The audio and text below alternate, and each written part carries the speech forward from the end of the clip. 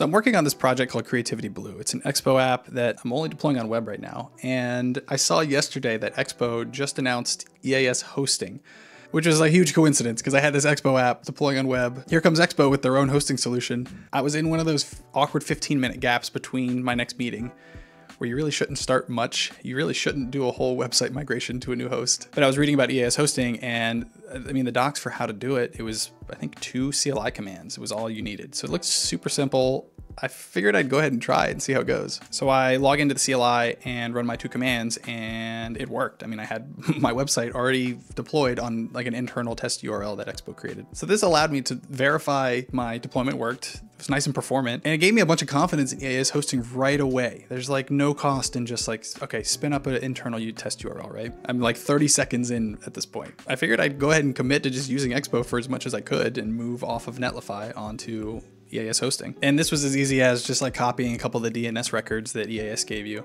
And then my production site was hosted on EAS hosting. And that took probably literally less than five minutes for moving my production site onto a new hosting provider. Pretty incredible, right? So if you're watching this, you're probably thinking, should I use EAS hosting? If you're using Expo for your web app, I would say, yeah, definitely try it out.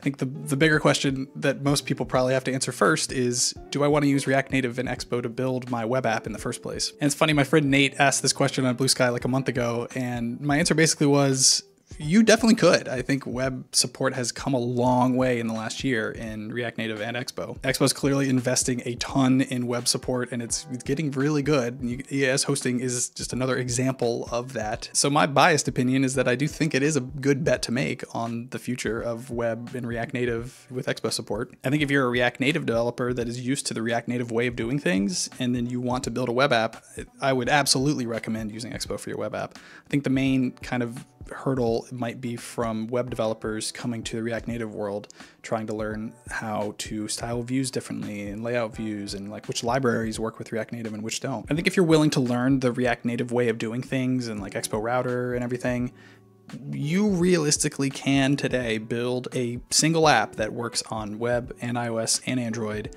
and is incredibly performant and production quality and that's super cool. Bluesky, I think, is the best example of a, a, big, important company that's doing this right now. And their app is open source if you're curious. Anyways, again, I'm biased as a React Native developer, but I do think web on React Native is underrated and it's getting pretty good. I think, uh, and I think you should try it out. I think EAS hosting is another great tool in the toolbox to help make that easier. Try it out and let me know what you think. And uh, lastly, the project I'm working on called Creativity.blue, building on top of Bluesky. It's an experimental project I'm still working on. But if you want to be more creative and establish good habits, come check it out. Come make fun little art project with me and follow me on Bluesky as I build along with it and make some videos about it in the future. So cheers.